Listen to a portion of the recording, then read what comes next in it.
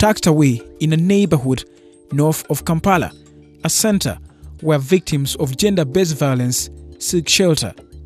The center, run by Action Aid, is where women and sometimes children fleeing abuse run to find counsel, comfort, and above all, shelter.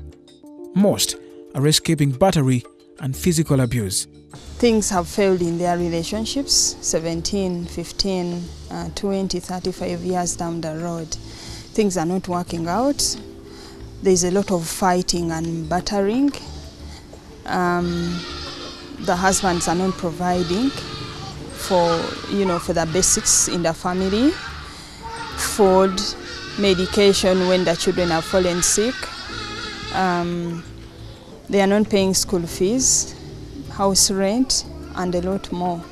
So um, when these women come here, they still have hope that their relationships will work, their marriages will, can still function, of course, with the intervention of counseling. The women that seek refuge here are supposed to be sheltered for three nights, but 20 year old Lydia Namataka has been here for two weeks now. Her case is unique.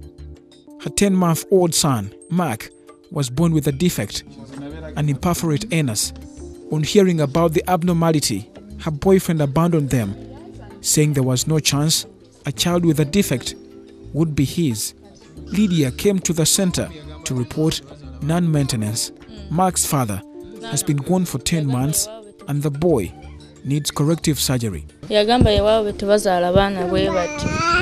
Nagamba sirina sente zitwala oyo omwana omulago oba ayagala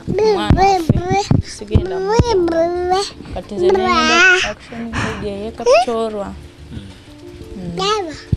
nebanyambako okun- okuleeta omwana So, this is one of the rooms at this gender based violence shelter provided by Action Aid. It has four beds, as you can see. The shelter can only accommodate 10 people at a particular point. This is where women suffering abuse from violent relationships come to seek assistance, to seek shelter. The center only caters for women, but sociologists are saying domestic violence is actually taking an uglier twist. They're saying men are increasingly becoming victims of domestic violence, but not so many interventions here are geared towards the men, so they're increasingly suffering in silence. The argument is that women are the weaker, vulnerable sex, but the tide has been turning. Since the center's inception two years ago, 10 men have come to report abuse in a society where men are expected to play tough. A real man does not cry, does not share family issues. A real man is supposed to keep quiet. They are always in control. You see, they are supposed to, to remain calm even when things are getting hotter. But if men were also like um, women, that oh, uh, just a slap is enough, I usually speak to these colleagues of ours, the women who have come out to, to share with us, um, how they can tell that there's threatening violence and when things are getting hot, what should they do? They should. There are certain precautions that they are supposed to take. Okay just in case there is an outbreak, not to provoke the man or to run for their lives.